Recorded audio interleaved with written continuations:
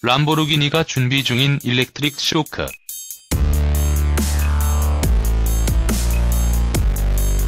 이탈리아 슈퍼카 브랜드 람보르기니도 전기차 물결에 뛰어든다. 지난해 말 람보르기니가 전기로만 구동되는 슈퍼카 개발 프로그램 비토라를 가동 중인 것으로 확인됐으며 이번 제네바 모토쇼에 참가한 람보르기니 CEO의 입에서 순수 전기차 도입에 대한 이야기가 흘러나왔다. 스테파노 도메니칼리 람보르기니 사장은 2017 제네바 모토쇼를 통해 전기차는 우리에게도 큰 관심거리지만 단기간에 이룩할 수 있을 거라고 기대하지 않습니다. 때문에 순수 전기차는 2025년 이후가 될 것이지만 슈퍼카의 핸들링, 중량 및 성능 목표에 맞는 EV를 개발하는 데 총력을 기울일 것이다. 라고 전했다.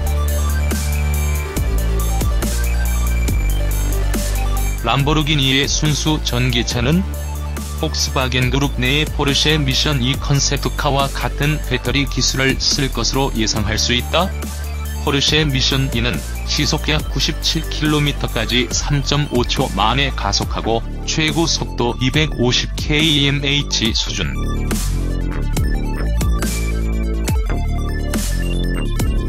브랜드 특성상 람보르기니 전기차의 경우 더 뛰어난 성능을 목표로 삼고 있다.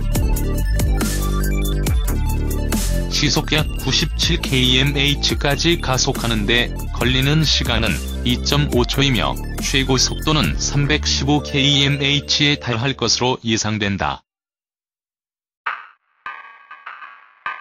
경량화를 통해 주행거리 역시 미션 2의 500km를 넘어설 것으로 보이며 800V 충전기를 이용해 배터리를 80%까지 충전하는데 15분 미만을 목표로 하고 있다. 람보르기니의 순수 전기 슈퍼카의 데뷔 시기와 정확한 성능은 유동적이지만 시대의 흐름을 거스르기 힘든 만큼 오염물질 배출 없이도 가능한 짜릿한 드라이빙을 기대해본다.